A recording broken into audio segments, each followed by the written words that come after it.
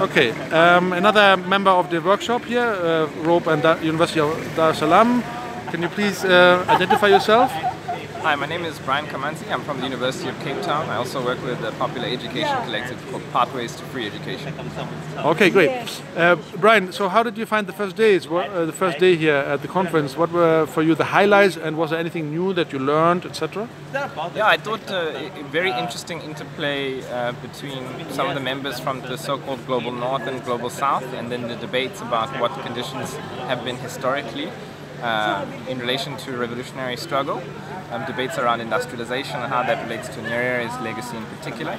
I learned a lot about that and I'm still trying to learn and understand about what happened here in Tanzania and then reflect on what that means in a place like South Africa which was relatively more, more uh, industrialized. Um, I think that was what was really exciting is there was a lot of cross the floor debate, um, particularly about the post-independence movement, what that meant, um, nationalism um, versus socialism, which comes first, do they come together, and what is required in order for that to happen. I think those, everyone kept saying how those were old debates, um, but I think that very few people maybe mention how significant it is that they're coming to the fore again.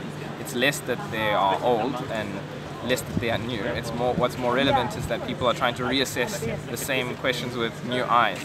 Um, where many of those um, governments faced challenges, they failed, and now we live in a situation where we have to reassess and critically evaluate where we go forward. Um, so I'm, yeah, I'm optimistic going into into the next day, and, okay. and and curious to see also we're going to be moving more towards some of the activist inputs and see how that complicates a more grounded uh, debate on what the tangible realities are in relation to the, the broader ideological disputes about what happened in Russia 100 years ago.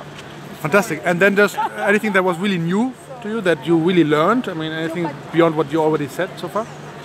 Yeah, I, I think uh, especially the, the comrades who came from East Africa added a lot of depth and historical specificity that you do not find in the one or two books on Kenya or Tanzania that you find in your local university library or school library.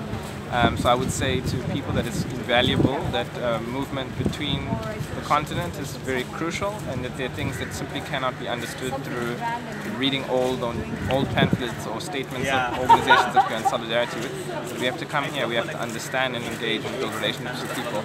So unfortunately, uh, some of the best things about programming happens in between the programming and I don't think that that's a bad thing and I think organizers are aware of this too. Thank you so much. Bye-bye.